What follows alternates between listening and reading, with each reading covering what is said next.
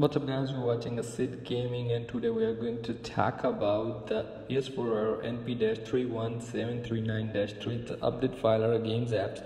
So you just, which one you have, you get the error, you just go check the update, your game or application is up to date or not. So that's how you can check the update. If not updated you just must go and update. And here is the upload update history. You just check your update history. All is complete.